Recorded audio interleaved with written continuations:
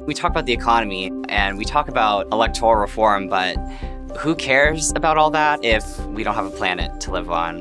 The decisions that politicians and the government make now, they're going to affect our entire lives. I feel like Anthony has consistently protected and supported our community. Liberals have a plan to help Canadians, and I feel like long term, this is the party that is very responsible. That's what voters care about.